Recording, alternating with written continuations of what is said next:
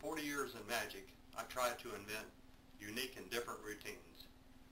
A few years ago, I discovered that if you take a standard routine and just put a small twist on it, you essentially have a new routine.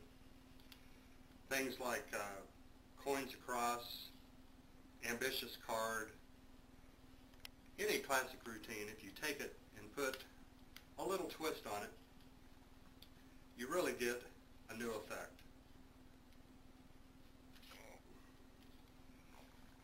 As you can see now, I'm producing the aces in the strength of their suit, spade, heart, we've got diamond, and lastly, we've got club.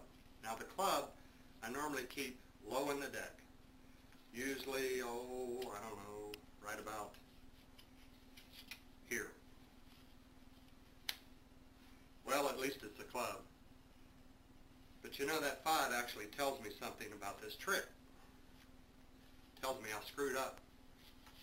But we're going to try it anyway. Let's see, there's one, two, three, four, and five.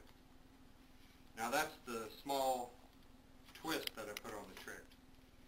But normally, in my routine, I don't start with a card trick. I start with a coin trick.